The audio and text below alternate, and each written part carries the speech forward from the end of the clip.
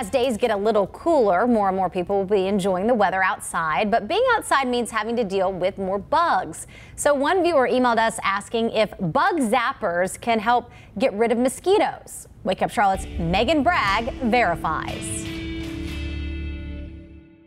Bug zappers, they come in lots of different varieties. The goal to electrocute bugs. Leslie S. emailed us asking if bug zappers kill mosquitoes.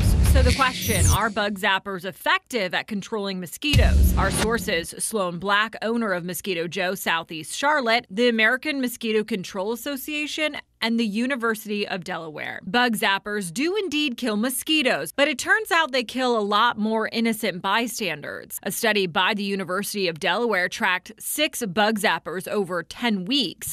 Of the more than 13,000 insects killed during that time, only 31 were biting flies, including mosquitoes. That's about one fifth of 1%. The American Mosquito Control Association noted similar results when they looked at Notre Dame research. Their study found over an entire season, bug zappers killed less than 6.5% of mosquitoes. Black says that's because mosquitoes just aren't attracted to that blue UV light. If they did effectively kill mosquitoes, you would still just have all these new mosquitoes that are, you know, hatching all the time coming there. So what are mosquitoes attracted to? Sweat and perfumes for one, and the carbon dioxide that we exhale. They have really good sense of smell, and so they're attracted to things like the CO2 that we emit when we're breathing. He says it's way more effective to prevent mosquitoes before they hatch, which is why you should get rid of any standing water in the area. For mosquitoes, that's their breeding grounds. You also have to address